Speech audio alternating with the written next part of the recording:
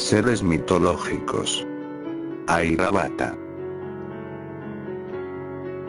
El Airavata es representado como un elefante blanco que posee siete trompas, fue creado por Brahma y sus poderosas piernas son las columnas sobre las cuales se sostiene el universo, por lo cual el Airavata es símbolo de la estabilidad terrestre, este elefante extraordinario es venerado como símbolo de prosperidad ya que se considera que es quien concede a los seres humanos todos los bienes terrenales, se cuenta que este poderoso elefante llega con su trompa hasta inframundo acuoso, donde absorbe el agua y la contaminación, para luego rociarlos sobre las nubes, lo que provoca una lluvia de agua fresca, vinculando así las aguas del cielo con los de los infiernos, según los escritos se cuenta que son ocho deidades guardianes que presiden los ocho puntos cardinales, en el cual se sientan cada uno en un elefante, cada uno de esos elefantes toma parte en la defensa y protección de sus distritos, siendo el Airavata uno de los más poderosos.